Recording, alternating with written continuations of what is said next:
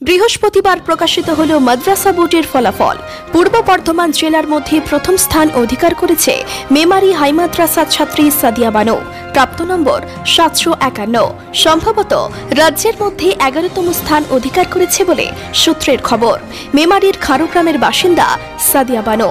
তার এমন ফলাফলে খুশি শিক্ষক ও শিক্ষিকারা থেকে শুরু করে এলাকার সকলেই। ফলাফল বেরোতেই বাড়িতেই যেন এক উৎসবের সৃষ্টি হয়েছে। আত্মীয় স্বজন থেকে শুরু করে স্কুলের সঙ্গীরা কেউ বা বাড়ি এসে কেউ বা ফোনে শুভেচ্ছা জানাচ্ছে। বুধবার প্রকাশিত হয়েছিল ওয়েস্ট বেঙ্গল বোর্ড মাধ্যমিকের ফলাফল। তাতে প্রথম স্থান অধিকার করেছিল মেমারির অরিত্রপাল। বৃহস্পতিবার আবারও একবার খবরের শিরোনামে উঠে এলো মেমারির নাম।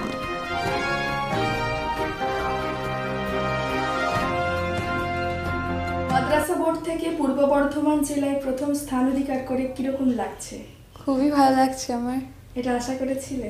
না এতটা আশা করিনি কো। এই সাফল্যের পিছনে কাদের অবদান বলে তুমি মনে করো? প্রথমত আমার মা বাবার রয়েছে তারপর আমার স্কুলের শিক্ষক শিক্ষিকা মহাশয় আর আমার টিউশনে যারা শিক্ষক শিক্ষিকা ছিলেন তারা। আর আমার মা বাবারাই মেন এখানে। দিনে কত ঘণ্টা করে পড়াশোনা করতে? দিনে মোটামুটি ন দশ ঘণ্টা করে। পড়াশোনার পাশাপাশি আর কি কি ভালো লাগে?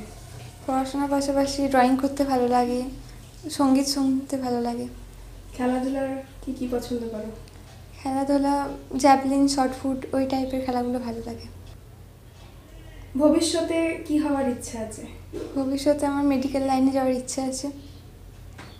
মাদ্রাসা বোর্ড থেকে পূর্ব বর্ধমান জেলায় প্রথম স্থান অর্জন করেছে সাদিয়া। আপনার কেমন লাগছে? খুবই ভালো লাগছে। এটা আশা করেছিলেন? না অতটা আমি আশা করিনি। আপনি কি নিয়মিত পড়াতেন? না আমি ঠিক নিয়মিত পড়াতাম না গাইডটা দিতাম ওকে। আর স্যার ম্যাডামরা খুবই ভালো দেখেছে স্কুল থেকে। আপনি কি করেন? আমি হাউস ওয়াইফ আপনি আগামী পরীক্ষার্থীদের অভিভাবকদের জন্য কিছু বার্তা দিতে চান? এটাই যে আজ আমার মেয়ে যেমন ভালো রেজাল্ট করেছে আর পাঁচটা মেয়েও করুক ছেলে মেয়ে কোনো তফাৎ নেই। সবাই সমান ছেলে মেয়ে সবাই সমান। ভালো রেজাল্ট করুক সবাই এটাই আমি চাই। ধন্যবাদ। মেমারি থেকে সময়া সুলতানার রিপোর্ট বর্ধমান টুডে